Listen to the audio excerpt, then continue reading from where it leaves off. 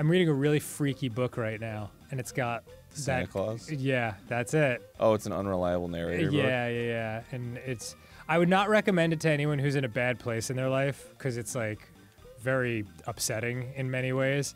Um, it's a horror book in a lot of ways. Okay. Uh, but if if you're in the mood for something really weird, uh, I, I would check out House of Leaves by Mark Danielewski.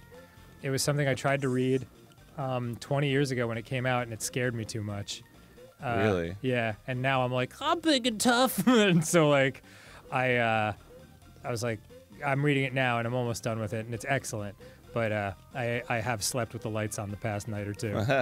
yeah, it, it, it messes with you for sure. Yeah, it's one. It's a cool book. It's it's like, it's got a cool story, and also the the way it's told is very interesting. Like, there will be. It starts off normally, but then suddenly like the pages sort of devolve into like text coming in from the sides and upside down, and um, uh, like there'll be pages where there's like only three words on it, but they're like all the way up in the corner. It's it's disorienting to read. Um, but yeah, interesting book. Unre- Recommend it. Unreliable narrator. Unreliable narrator. The, it, I, I don't want to give too much away. Is that a spoiler?